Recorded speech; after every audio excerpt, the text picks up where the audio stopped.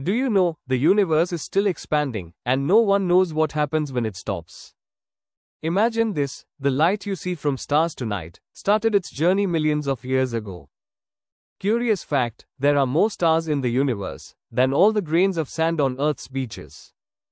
Did you know just a teaspoon of a neutron star would weigh 6 billion tons? Here's a twist the largest black hole ever found could swallow our entire solar system. Hard to believe, but space is not completely silent. Astronauts have captured spooky sounds from plasma waves. Did you know, if you could travel at the speed of light, it would still take 100,000 years to cross our galaxy? Mind blowing. Some galaxies are actually older than the Milky Way.